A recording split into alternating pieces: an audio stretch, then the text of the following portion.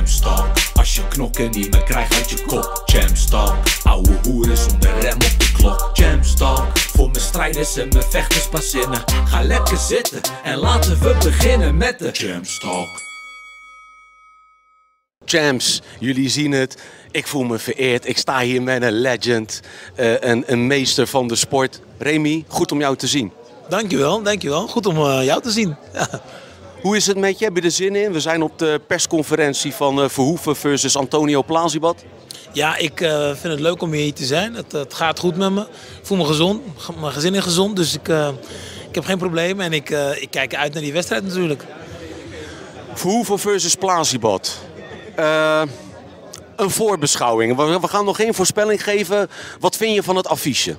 Het is een mooi affiche. Het zijn eh, twee geweldenaren. Eh, Rico natuurlijk eh, heel lang al kampioen.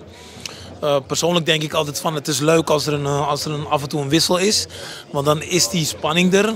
Hè? Want nu, althans de afgelopen jaren, was die spanning er minder. Toen kwam op een gegeven moment kwam Badr in het veld. Toen was er die spanning er weer. En je zag het ook aan, aan de opkomst van de mensen. Nou, nu hebben we een tijdje eigenlijk niet een, een, een, een wedstrijd gehad waarvan je zegt van... Ah, dat gaat leuk worden. Antonio Plasibat heeft de laatste wedstrijden gezien van... Hey, hij slaat iedereen echt KO. En dat is wat, eh, wat je bij Rico niet heel veel ziet. En daarom geef ik Plasibat best wel veel kans als hij eventueel de wedstrijd gaat vechten tegen Rico. Zodat er ehm, ja, in mijn ogen misschien wel tijd wordt weer voor een, eh, een nieuwe, nieuwe kampioen. Is Antonio Plazibad in jouw ogen ook de terechte uitdager? Hij won natuurlijk de laatste keer in eh, Bonn, Duitsland. Daar waren wij bij. Versus Raúl Catinhas. Eh, eh, maakte een goede indruk. Verdient hij het? Nou ja, kijk, als je iedereen echt opruimt in, ja, in de top 5, dan verdien je het gewoon. En eh, kijk, de wedstrijd eh, van Alistair tegen, tegen Badr was er wel. Commercieel gezien is dat natuurlijk een hele, eh, zou dat dan een hele mooie wedstrijd zijn. Hè? Eh, eh, Overeem tegen, tegen Verhoeven. Maar als je gewoon kijkt naar wie het sportief verdient, dan is dat gewoon uh, Plasibat. Nog boven Jamal Ben Sadiq? Denk het wel. Denk het wel. En als je gewoon naar kijkt naar Jamal. Jamal is ook een topper hoor. Vergeet je niet daarin. Heeft ook gewoon heel veel gedaan. Alleen, ja, eh, wie nummer 1 staat. Wie nummer 1 staat, die mag. En dat is Plasibat. Hoe zie jij eh, de wedstrijd zich verlopen? Ik weet dat het is een beetje koffiedik kijken. De laatste weken tekent het zich meestal vanzelf uit. Maar hoe zie jij de wedstrijd zich eh, verlopen? Nou ja, er zijn twee scenario's. Ehm, als je kijkt naar Plasibat, ja, hoop ik dat hij binnen, één of twee rondes de boel sloopt en wint. Eh, als je kijkt naar, eh, naar Rico, Rico wil heel graag naar de vierde, vijfde ronde. En daar is hij gewoon heel sterk in. Hè? De eerste, tweede ronde een beetje ronddansen. Derde ronde een beetje gas geven. En dan vierde, vijfde ronde heel veel gas geven. En zo verslaat hij vaak de tegenstanders. Eh, we zien 9 van de 10 keer niet een één, twee- eerste en tweede ronde knock-out.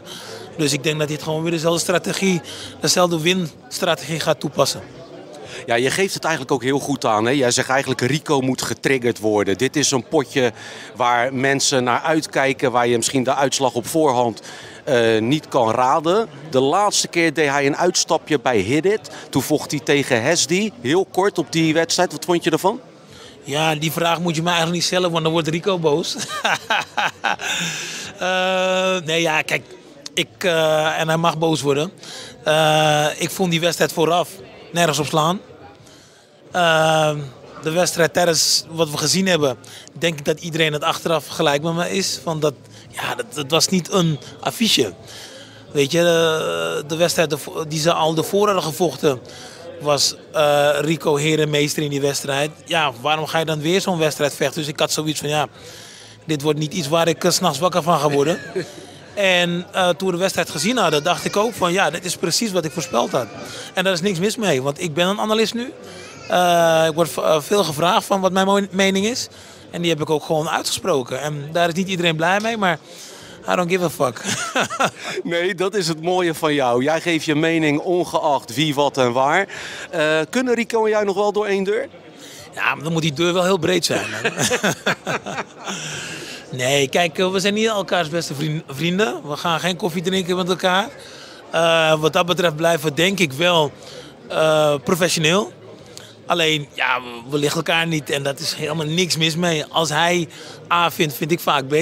En als ik eh, op een keer A zeg, zegt hij weer B. Dus ja, we, we liggen elkaar gewoon niet. En daar is niks mis mee, joh. Ik bedoel van, kijk, eh, het is een hele mooie wereld. En niet iedereen hoeft elkaar leuk te vinden. En ja, net wat ik zeg, je hoeft niet met elkaar eh, door één deur te hoeven. Zolang je maar wel professioneel blijft. En dat zijn we. En dat ben jij op en top. Prof, Remy, bedankt voor je tijd. Ik zie je snel. Alsjeblieft, man. Jamstalk, als je knokken niet meer krijgt uit je kop Jamstalk, ouwe hoeren zonder rem op de Jamstalk, voor mijn strijders en mijn vechters pas zinnen. Ga lekker zitten en laten we beginnen met de Jamstalk